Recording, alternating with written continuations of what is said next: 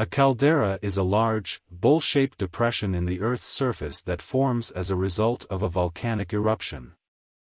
It is a type of volcanic crater that typically forms after the eruption of a massive volume of magma, which causes the ground above to collapse and create a depression. Calderas can range in size from just a few hundred meters to several kilometers in diameter and can be found on all continents. The formation of a caldera begins with the eruption of a large volume of magma, which can be triggered by a variety of factors such as tectonic activity or the accumulation of gas within the magma. When the magma reaches the surface, it is released in a massive explosion that sends ash, gas, and lava high into the air.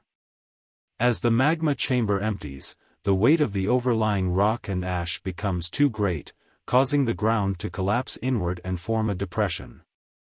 Calderas are typically characterized by steep walls and a relatively flat bottom, which can be filled with water, lava, or other volcanic debris. In some cases, multiple calderas can form within a single volcanic complex, with each new eruption creating a larger and more complex depression. One of the most famous calderas is the Yellowstone caldera in Wyoming, USA, which measures approximately 70 kilometers by 30 kilometers and is one of the largest volcanic features on Earth. The last major eruption at Yellowstone occurred approximately 640,000 years ago and created a massive ash cloud that covered much of the western United States. Calderas are not only significant features of the Earth's surface, but they also play an important role in the study of geology and volcanology.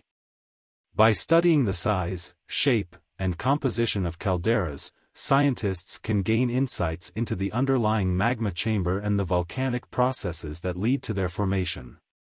This information can help predict future volcanic eruptions and improve our understanding of the dynamic processes that shape the Earth's surface. Please don't forget to subscribe to my channel and turn on notifications.